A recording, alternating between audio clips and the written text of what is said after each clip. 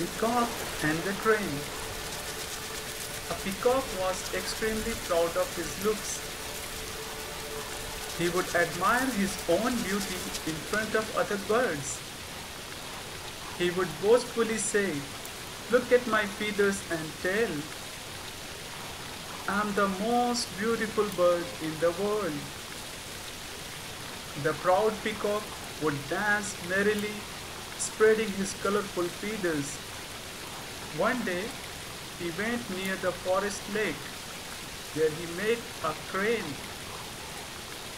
Seeing the crane, the peacock mocked at him. What colorless feathers you have! You look so ordinary. The crane replied humbly, Of course, your feathers are colorful, but with these feathers you can't fly high. However, my colors, my colorless plain feathers have strength to carry me up in high sky. Moral of the story: Worthless beauty is not appreciable.